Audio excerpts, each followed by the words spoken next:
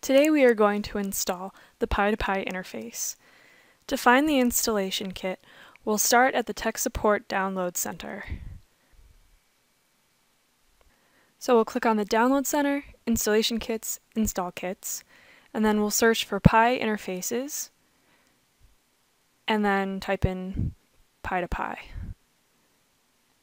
And then we'll install the most current version.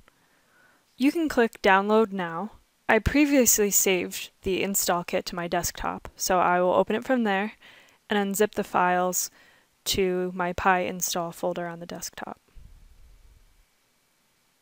Some of the features in the install kit are already installed on my computer from other Pi products, so we'll continue with installing the Pi to Pi interface. We can choose the destination folder. Here it's going to be Program Files, PIPC Interfaces, PItoPI. And it looks like it has successfully installed.